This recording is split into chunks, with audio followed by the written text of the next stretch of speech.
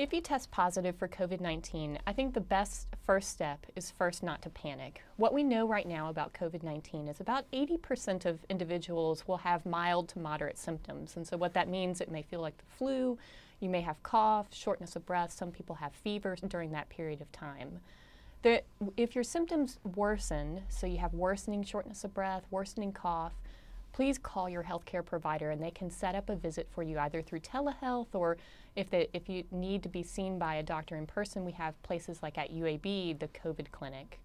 And that will help determine if you need to go to the emergency department and then be admitted. Um, but for the vast majority of people, this is like a flu like illness. Um, you will have symptoms. It can be harder at night in particular.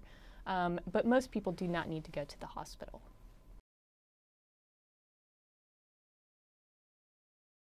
In terms of taking care of yourself at home, some of the best things that you can do, number one is, is help make sure that you take medicines that help your symptoms. So, for instance, if you are having a fever, fever reducing medications like Tylenol or ibuprofen may help, um, as long as your doctor has said that you are okay to take those medications.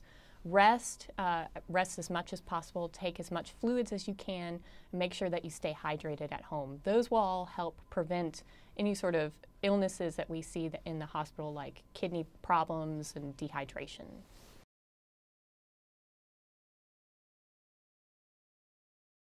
In terms of isolation, what the CDC recommends is that if you have no longer any symptoms of fever without any fever reducing medications, an improvement in your symptoms. So if you have diarrhea, you want to see improvement in that. If you have respiratory symptoms, you want to have some sort of improvement. And about 10 days from when you first symptoms develop, then you can come out of isolation. If you are immunocompromised, which means that you're taking medications um, to, for suppressing of your immune system, or if you have something like cancer, we would recommend 20 days um, rather than the 10 day uh, isolation period.